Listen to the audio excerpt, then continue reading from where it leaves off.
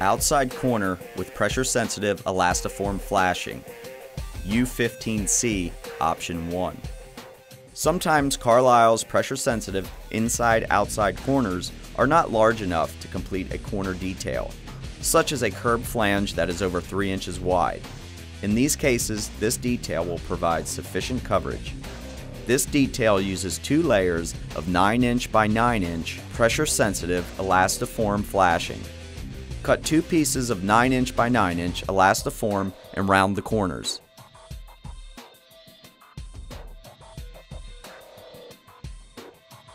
Apply EPDM primer to the corner of the curb.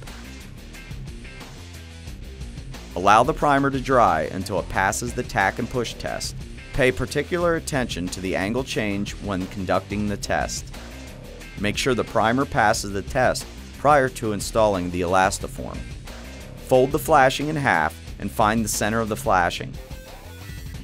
Center the flashing on the deck at the outside corner keep the flashing approximately a half inch away from the angle change.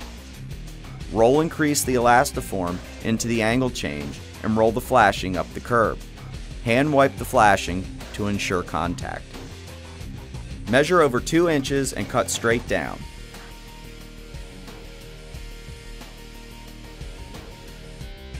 Do not wrap more than 2 inches of Elastoform around the corner.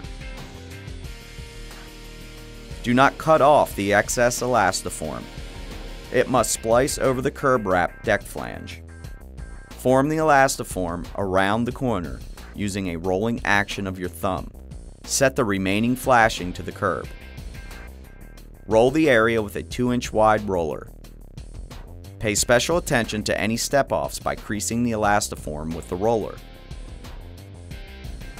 Apply primer to the corner again and allow to dry by passing the tack and push test. Fold the second piece of flashing in half. Center the flashing on the deck at the outside corner. Keep the flashing approximately a half inch away from the angle change.